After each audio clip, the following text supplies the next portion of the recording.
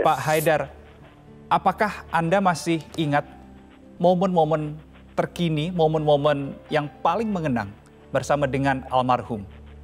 Bisa Anda ceritakan pada kesempatan kali ini? Uh, kami sempat uh, nemani Buya ketika Presiden uh, menjenguk di rumahnya. hmm bersama Pak Mensesnek.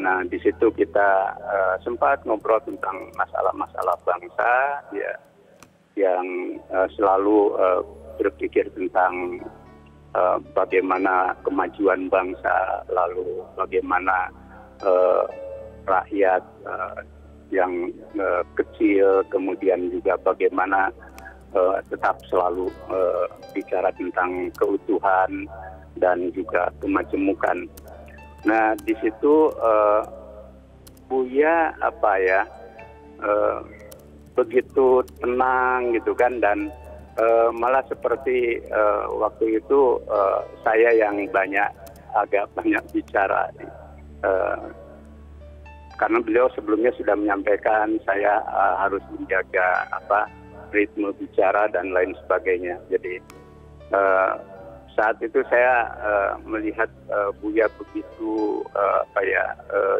damai dan lain sebagainya. Uh, dan momen itu sangat membekas ya.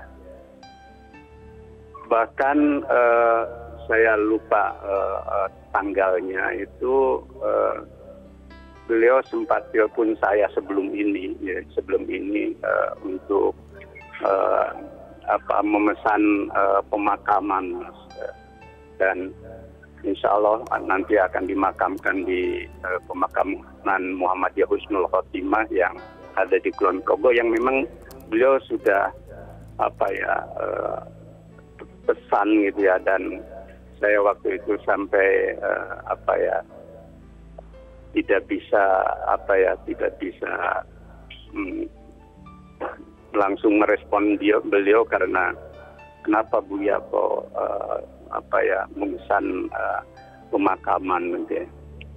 Uh, momen-momen lain uh, banyak sekali mas mungkin nanti saya ingin bercerita ya. karena saya uh, termasuk yang menemani beliau sejak tahun 2000 ya.